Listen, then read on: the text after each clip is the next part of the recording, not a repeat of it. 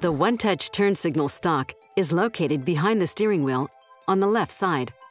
To signal a lane change, push the stalk partway up or down for the direction of your turn and release it. The turn signals will flash three times and go off automatically. Your dealer can set the number of flashes to three, five, or seven flashes. To signal a turn, push the stalk all the way up or down and release it. The turn signal will automatically stop flashing after making a turn.